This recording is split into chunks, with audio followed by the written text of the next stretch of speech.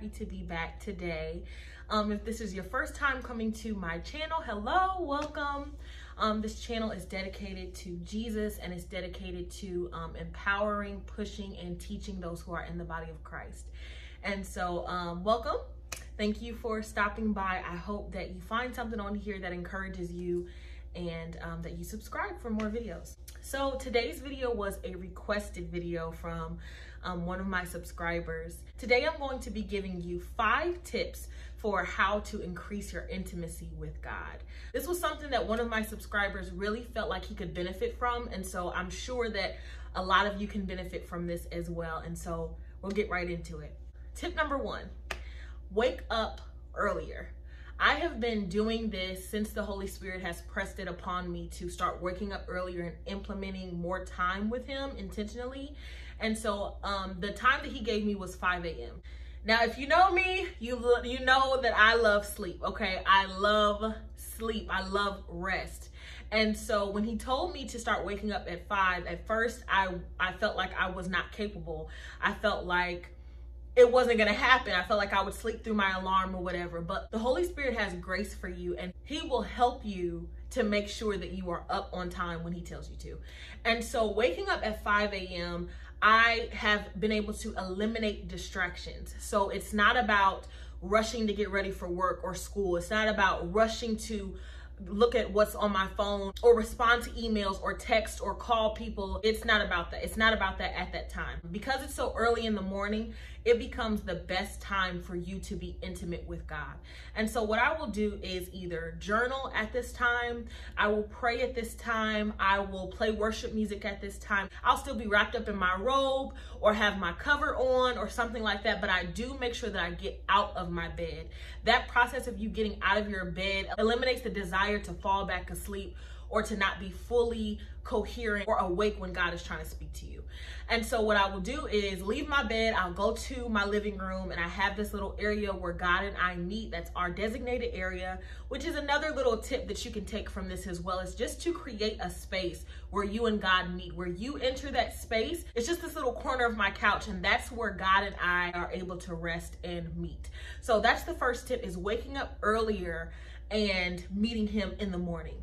Tip number two, create a routine.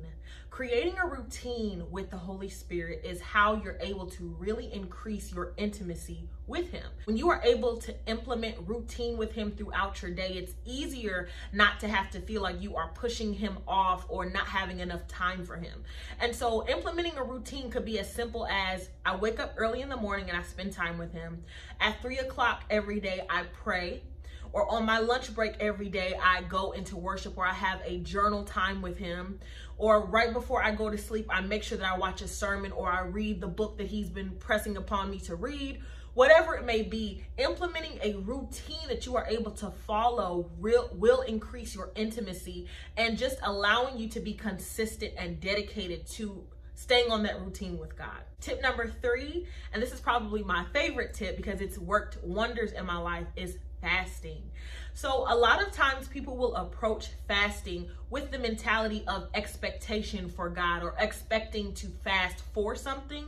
But fasting doesn't have to be always an expectation. Fasting is really meant to decrease your flesh and to increase your spirit. When you are in this place of suppressing your flesh and what it desires, you have no choice but to be increased in the spirit. And so, to build that intimacy with God, fasting is a great, great way to silence your flesh, silence your carnal mind, silence the desires of your heart, and really be able to hear God clearly for what He's calling you to. At the end of this month, I will be finishing up my Daniel's fast, which has just been so incredible when it comes to building more intimacy and aligning with my routine with God.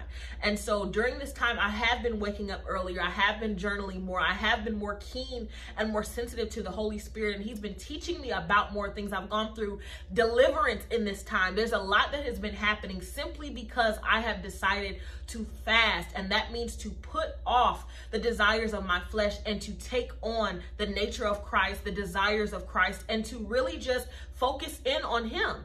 And so fasting doesn't always have to be that you're not eating or that you're not drinking or that you're abstaining from some sort of food. Fasting can be that you are not on social media or that you limit your social media time. Fasting can be that you are in isolation for a certain time, that you're not speaking to um, um, that you're not hanging out or going out as often. Fasting can be simply just excluding the things that you know your flesh desires. Like if you know that you watch a TV show a lot and just telling your flesh, no, you can't watch that TV show because in that time, I'm going to dedicate that time to God.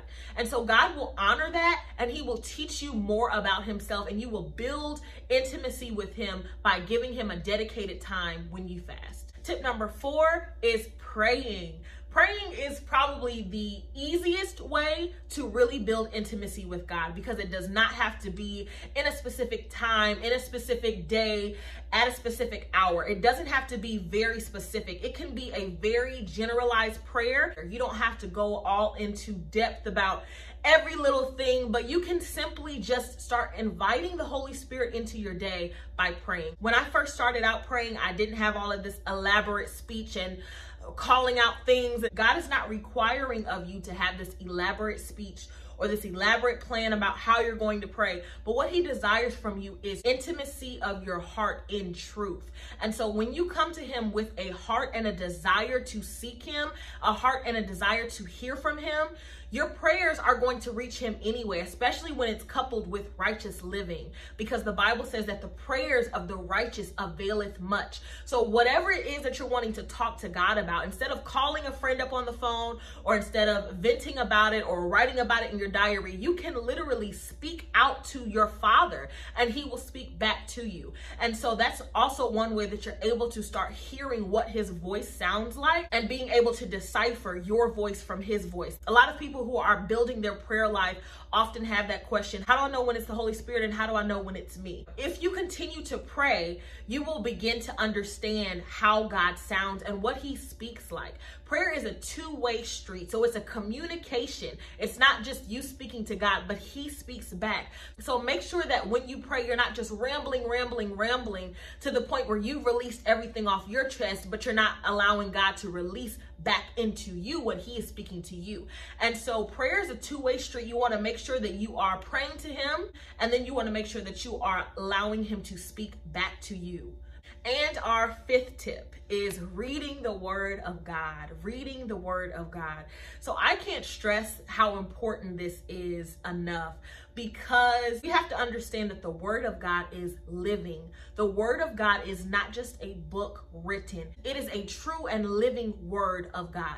And so those words have power. They have power to change your mindset. You are able to be renewed in your mind by the Word of God. And so in those times where you fast, or in those times when you wake up in the morning, or in those times where you're really wanting to seek God and you've set a time aside, you should always include reading the Word of God whether it's a scripture or a chapter or a couple verses that the Lord may lead you to. Allow those things to really resonate with you, really reflect on the scriptures that He's given you, and allow them to be meditated on in your heart. Sometimes God will lead you to scriptures that will really resonate in your life later on, or you may see how that scripture is going to help you through later on down the week or whatever it may be. Maybe meditating on that scripture is going to give you new perspective about something you've been praying on. And so God speaks through his word. You can learn his character in his word. You understand his promises to you in your in his word. You understand your identity and who you are in him through his word. And so it's so drastically important that you are implementing the word of God. One way to really study the Bible that's a really easy way is just to get involved with Bible Plan. There are Bible plans on the YouVersion Bible app, which is completely free to everyone. And there are different uh, versions of the Bible to read. Just in case you're like me and King James Version can sometimes be confusing, the NLT version is a really great way to start off, or the Message Bible, MSG. Those are really good ways to start off and really understand the Word of God without all of those yay, thous that may kind of get you tripped up. So I hope this video helped you. Those are the five tips on how to increase your intimacy with God. Let's pray before we go. Lord, I thank you for your people. I thank you for those who are going to be drawn to this video. I thank you for those who are going to click on this video, God, and hear something that they may not have heard in the past. I thank you, Lord Jesus, that you are going to make yourself known and manifest in their lives simply because they desire it, God. There's no good gift that you would keep um, away from us. There's nothing that you would keep us from achieving, Lord God, if it's in your will. And so I thank you, Lord God, that it's not hard to seek you. It's not hard to come into your presence. It's not hard to build intimacy with you, Lord God. So you will remove every barrier of the mind. You will remove every barrier of um, our hearts. You will remove every wicked desire and everything that tries to draw our attention or distract us away from seeking you, Father God. Your word says to seek ye first the kingdom of God and all of your righteousness, and everything will be added unto us, God. And so we thank you that we can uh, proclaim that. I thank you that we can stay in that space, Lord God, and understand that you will always come through on your promises. And so we abide in you, we stay in you, Lord God, and we thank you that these tips will help us to move forward in increasing our intimacy with you and your Holy Spirit. In Jesus' name, amen. Love you guys. See you in the next video.